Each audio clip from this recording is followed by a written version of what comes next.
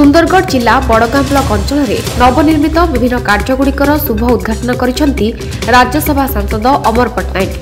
ଆଜି ପୂର୍ବାହ୍ନରେ ସାଂସଦଙ୍କ ସହିତ ଜିଲ୍ଲାପାଳ Nikhil Pawan Kumar CDMO Saroj Kumar Mishra PD Bhairav Singh Patel PWD executive engineer Narayan Patel BDO Kshamanidhi Bhoi ପ୍ରମୁଖ ଜରଙ୍ଗଲଇ ପଞ୍ଚାୟତର ବାର ମାଇଲ ଛକଠାରେ ପହଞ୍ଚିଥିଲେ। ସେଠାରେ ନବନିର୍ମିତ ବିଶ୍ରାମ ଗୃହ ଏବଂ ସାଇକେଲ ଷ୍ଟାଣ୍ଡକୁ ଉଦ୍ଘାଟନ କଲା ପରେ ବଡ଼ଗାଁ ଗୋଷ୍ଠୀ ସ୍ୱାସ୍ଥ୍ୟକେନ୍ଦ୍ର ପରିସରରେ ନିର୍ମିତ କର୍ମଚାରୀଙ୍କ ବାସଗୃହ ଆଶାଗୃହକୁ ଉଦ୍ଘାଟନ କରିଥିଲେ। ଏହାପରେ ତୁଡ଼ାଲଗା ପଞ୍ଚାୟତର ଜାଙ୍ଗଲି ଗ୍ରାମରେ ନିର୍ମିତ ଆମ ଗାଁ ଆମ ବିକାଶ ଗୋଷ୍ଠୀ ସ୍ୱାସ୍ଥ୍ୟକେନ୍ଦ୍ର ଉଦ୍ଘାଟନ କରିଥିଲେ।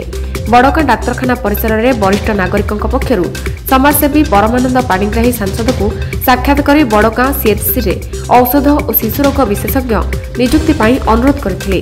ଏହାପରେ ସିଡିଏମ୍ଓ ମିଶ୍ର ଶୀଘ୍ର ଏହାର ବ୍ୟବସ୍ଥା କରାଯିବାର ପ୍ରତିଶ୍ରୁତି ଦେବା ସହିତ ଖୁବ୍ ଶୀଘ୍ର ଫିଜିଓଥେରାପି ଚିକିତ୍ସା ସେବା ଆରମ୍ଭ ହେବ ବୋଲି ସୂଚନା ଦେଇଛନ୍ତି।